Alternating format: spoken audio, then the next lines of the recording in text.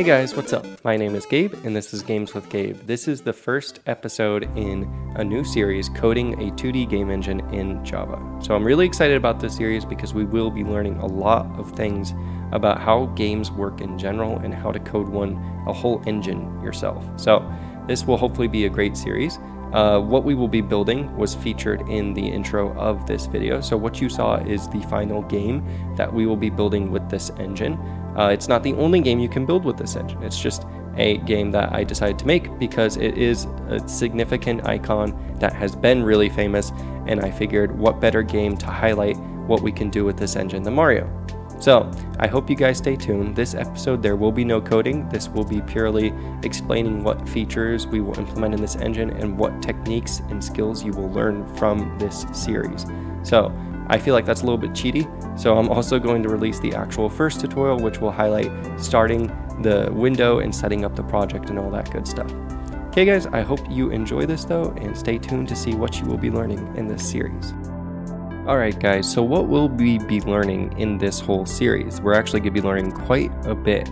Uh, the first thing that we will be learning about is LWJGL. So that's the lightweight Java game library. I say we'll be learning about it, but really we're just going to be using it as the framework for our game engine. And so what this is, is you may think this sounds like, oh, we're going to be using a game engine since this is a game library, but that's not true.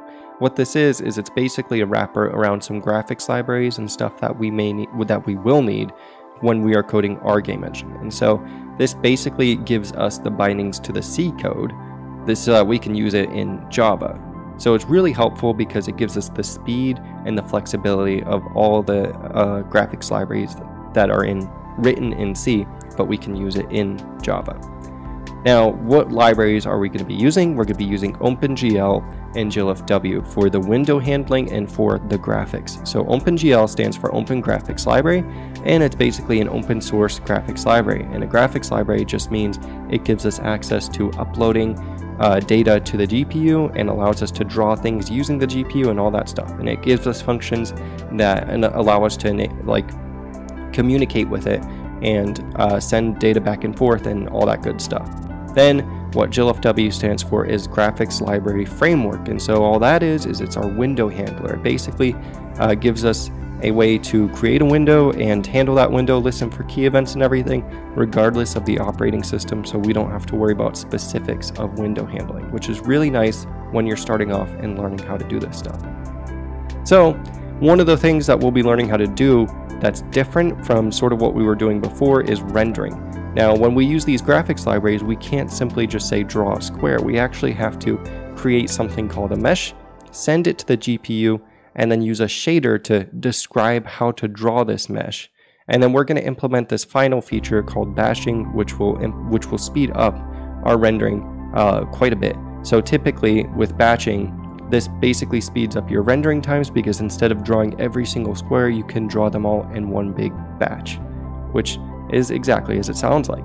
Now, these are just some pictures of some uh, spheres being rendered with PBR, which is something that we could eventually get to.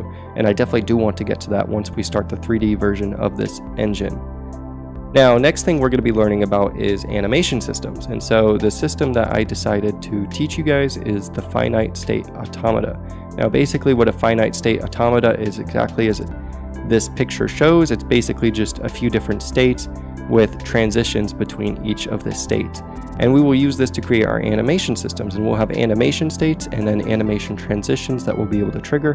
And this will be really nice when we go to create all the different animations we need to attach to our game objects. And we're only going to be doing sprite-based animation, but we will be implementing keyframes so that you can uh, time out your animation in different uh, lengths and stuff between each of the time steps, which is nice.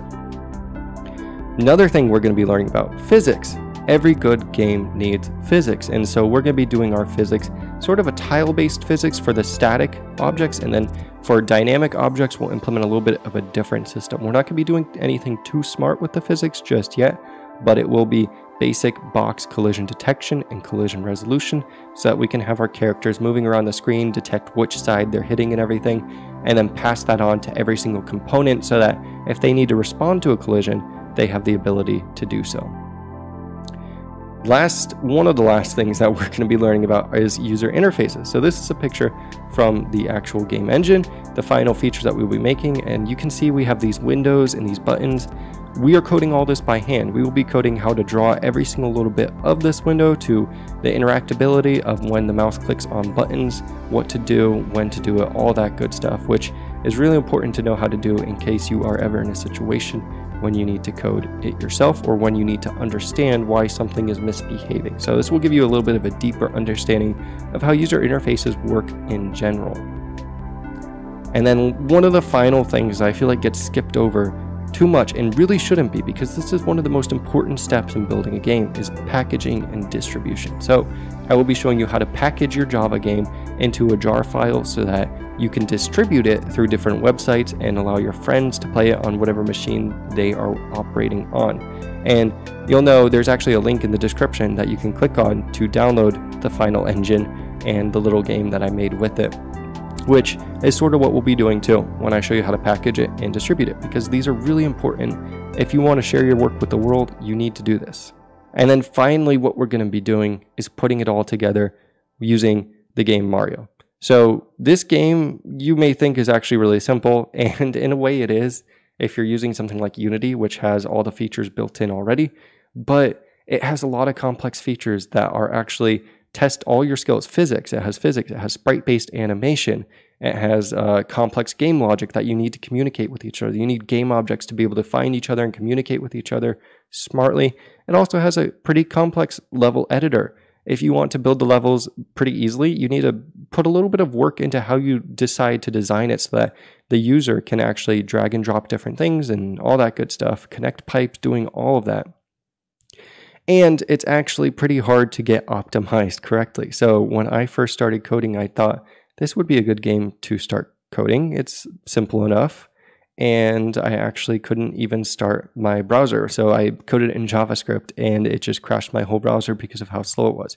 So it does require a little bit of forethought. You can't just slap something on there, slap some sprites together and throw in all the objects and hope that it all works. You have to put some thought and you have to put some consideration into how you design it. So this will be a final test of our engine and it's what we will use to basically just make sure that our engine is working well. So that's what we'll be learning about throughout the series. I hope you guys will enjoy it, and the first tutorial will be released in just a little bit. So stay tuned for that, guys, and I'll see you next time. Thanks.